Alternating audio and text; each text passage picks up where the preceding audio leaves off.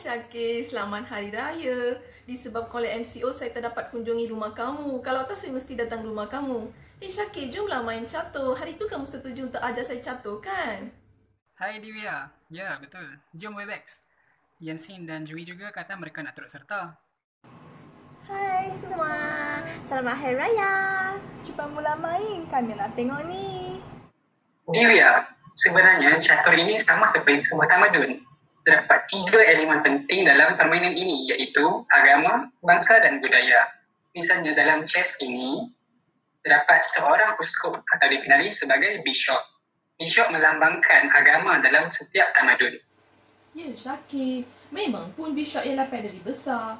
Walaupun rakyat negara kita terdiri daripada pelbagai jenis kaum, perpaduan akan terjalin jika kita menghormati antara satu sama lain. Betul itu. Aspek agama ini perlu diutamakan kerana setiap agama mengajar insannya untuk menjadi orang yang baik. Hal ini penting dalam perkembangan masyarakat maju. Tunggu. Biar aku cakapkan. Untuk aku dapat rakan yang pandai macam ni. Bukan itu sahaja. Aspek bangsa juga penting dalam perkembangan tamadun. Misalnya, dalam tamadun Islam di Arab Saudi, mereka terdiri daripada satu bangsa yang sama. Oleh itu, semang asabiah sangat kuat di antara mereka. Kaitan dengan catur ni? Ya, apa tu? Lihat ini. Ini kan on atau dikenali sebagai bidak. Bidak ini bilangannya ramai seperti rakyat juga. Walaupun sumbangan satu bidak itu kecil, tapi sekiranya bidak itu bekerja sama antara satu sama lain, ia akan mewujudkan satu bangsa yang kukuh dan kuat. Sama seperti negara Malaysia kita. Walaupun rakyat kita terdiri daripada pelbagai jenis kaum, rakyat tetap bersatu padu dan menggembeling tenaga agar terkenal di mata dunia. Hmm, betul-betul. Pendek kata, bangsa ini mempengaruhi pengembangan setiap tamadun. Satu bangsa dalam ikatan ketatanegaraan seperti bangsa Malaysia mempunyai semangat patriotisme yang kukuh ini. Hal ini amat penting dalam mendirikan masyarakat yang bertaraf global. Syakir, tunggu apa tu? Cepatlah tunjukkan langkah awak yang seterusnya. Bisinglah awak ni. Saya sedang fikirkan tentang satu lagi aspek. Elemen kebudayaan ke? Yang dah ulang kaji dan teliti tu. Ya, betul. Elemen kebudayaan merangkumi banyak aspek. Sebagai contoh, undang-undang, kesenian, sastra dan norma masyarakat merupakan aspek kebudayaan yang sangat penting. Dan awak juga ingin kaitkan dengan catur ke? Memang, permainan catur dapat melambangkan elemen kebudayaan. Raja merupakan ketua kerajaan dan dibantu oleh pembesar. Bida ataupun rakyat merupakan golongan bawahan. Terdapat sedikit perbezaan dalam organis sosial setiap tamadun. Organis sosial yang rapi dapat menjamin kestabilan politik setiap tamadun. Tetapi, jika wujudnya kezaliman dalam pentadbiran kerajaan, ia akan menyebabkan runtuhnya tamadun itu. Selain itu, undang-undang yang sangat penting untuk mengelakkan wujudnya masalah dalam masyarakat untuk menstabilkan sistem organisasi sosial.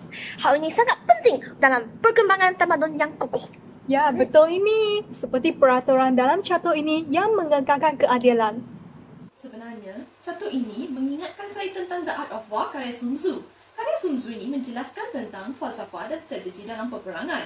Hal ini juga termasuk dalam kebudayaan kerana falsafah ini dijadikan rujukan dan dalam perniagaan dan juga politik sehingga hari ini. Di samping itu, aspek sains dan teknologi juga berkaitan rapat dengan permainan catur atas talian ini. Pada zaman moden ini, sains dan teknologi sangat maju walaupun situasi negara kita sekarang teruk dengan COVID-19 ini, saya percaya kami pasti boleh menanganinya dengan berjaya. Checkmate Divya. Game over. Alamak, cepatnya pusingan ini tamat. Jom cuba sekali lagi. Selamat sejahtera dan salam satu Malaysia. Saya ingin mengucapkan ribuan terima kasih kepada Tuhan Yang Maha Esa kerana mendapat menyiapkan tugasan ini pada masa yang ditetapkan. Melalui projek ini, saya dapat mempelajari mengenai ilmu ketamadunan secara terperinci dan juga sejarawan-sejarawan yang mengkaji ilmu ketamadunan ini. Sekian, terima kasih. Selamat sejahtera. Saya Logania dari kumpulan 3. Melalui projek ini, saya dapat mempelajari tentang ilmu ketamadunan secara lebih terperinci. Saya juga dapat mengetahui tentang ciri-ciri tamadun, pengertian tamadun dan sebagainya.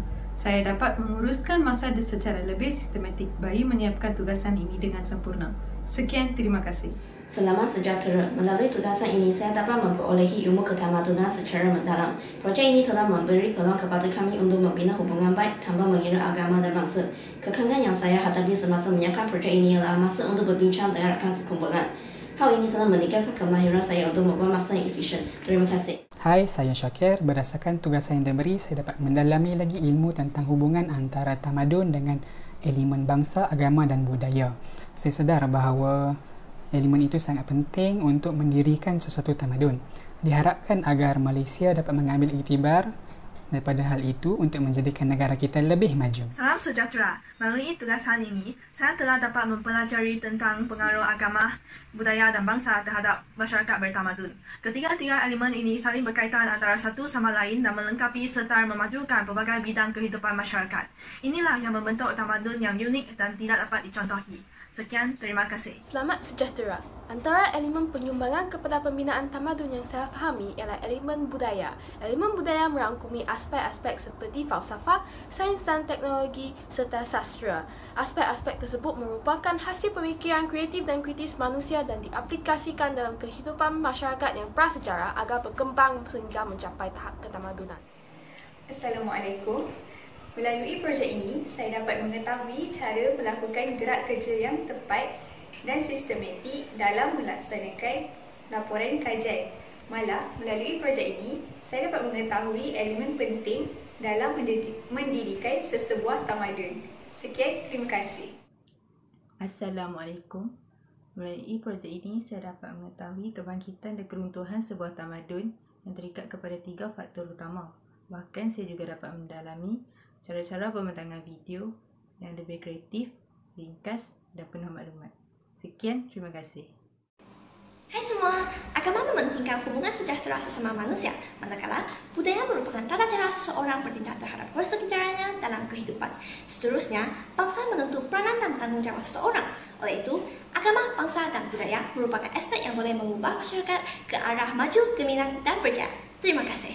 Salam sejahtera. Saya Jui. Melalui projek ini, saya memahami bahawa masyarakat bertamadun dapat diwujudkan sekiranya aspek agama, budaya dan bangsa diutamakan. Aspek-aspek ini bukan sahaja penting dalam sejarah, maka penting dalam zaman ini, terutamanya situasi COVID-19 ini. Saya berharap Malaysia sentiasa maju dan selamat. Sekian terima kasih.